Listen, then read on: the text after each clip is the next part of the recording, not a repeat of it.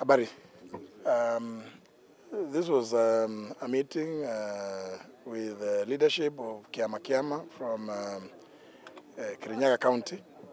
Uh, and uh, the idea of what we were doing was uh, to seek blessings from uh, the leadership of Kiama Kiama in um, Kirinyaga County in my leadership journey, which has been affirmed as was declared uh, at Mukuru and Nyagalanga.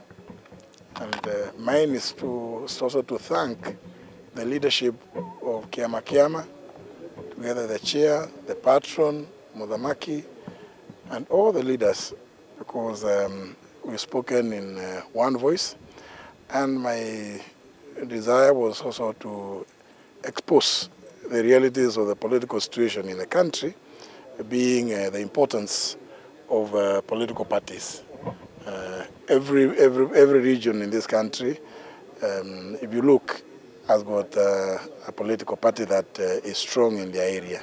And uh, mine was to emphasize that uh, even this, re this region is justified to have a, a political party that the, the, members of this, the people or the residents of this region subscribe to, so that going forward, uh, we can always uh, have uh, discussions with those that um, have the interests of this region and the people of this region at heart. So that uh, it is not uh, Justin Muturi uh, going out there front, fronting for himself, but fronting through a political party and through the leadership of the elders of Kiama Kiama. That's, that has been the, the, the consultation about here. Well, let me just say this for avoidance of doubt, that uh, anybody say, referring to the Democratic Party as a village party must be a person with very short memory, because uh, the Democratic Party, for those that uh, care to remember, was established by none other than His Excellency retired President Mwai Kibaki in December 1991 and formally registered in 19, early 1992. Today is 2022. That gives the party 30 years.